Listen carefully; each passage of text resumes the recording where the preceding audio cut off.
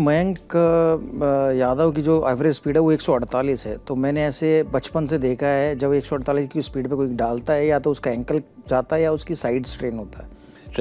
आशीष नेहरा को मैंने देखा है जब वो अंडर 17 अंडर 19 में गेंदबाजी करते थे तब से।